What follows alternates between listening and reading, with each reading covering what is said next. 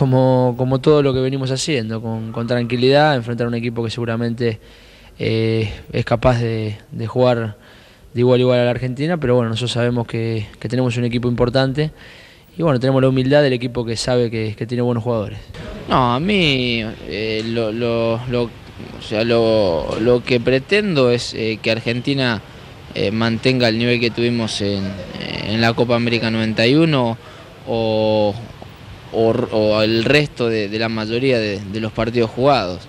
Eh, de Perú, bueno, hay que tomar algunas precauciones, pero lo fundamental aquí es que Argentina pueda realizar eh, el fútbol que, que, vino haciendo en sus mayoría de sus partidos. Eh, un equipo difícil, ¿no? Que, que, trata muy bien la pelota. Eh, somos conscientes de que viéndolo por video no tienen un potencial ofensivo eh, temible, ¿no? Pero bueno, hay que tomar las precauciones, jugar de local, se va a hacer, se va a querer sentir fuerte, pero bueno, Argentina yo creo que si está atento y, y enchufado no creo que tenga problema.